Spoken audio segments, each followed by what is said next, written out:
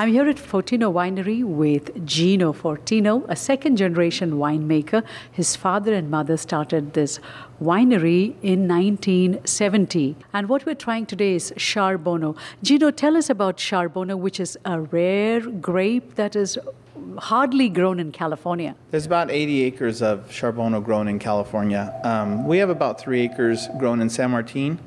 And um, what it does, it makes a very full bodied, rich um, red wine.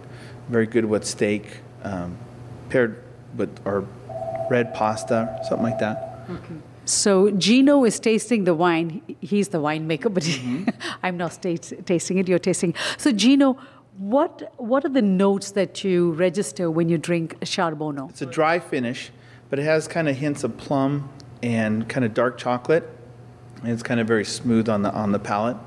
Um, it, it just it's very it's more of a drier, heartier red. When you say dark chocolate, how would I, the uh, uneducated wine lover, know uh, there's a hint of dark chocolate in Charbono? Dark chocolate is kind of referred to like when you buy chocolate, because a lot of people know what chocolate tastes like. So what it is is it's the dark chocolate has more of the coffee aromas and some of that stuff that um, this is kind of um, is like.